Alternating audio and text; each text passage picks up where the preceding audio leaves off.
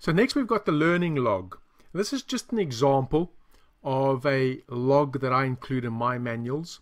And this is for the student to note what they've actually learned that day. So what have they learned today? Maybe what questions are there that come up for them based on the information that they've learned? What is the most useful thing that they've learned today? How did they learn that? What went well for them? Also, what went badly? And what was the resulting actions? What will they do differently next time? And maybe what do they want feedback on? This is just an example of a learning log and you may choose to use one, you may choose not to, you may choose to add some additional questions there or take some of these out.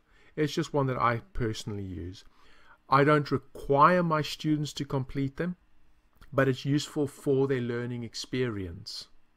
It's also useful for them afterwards to be able to reflect on and the learnings that they take away, not just from the course, but actually about how they learn and how they can implement how they learn in the future with other trainings. So that's the learning log.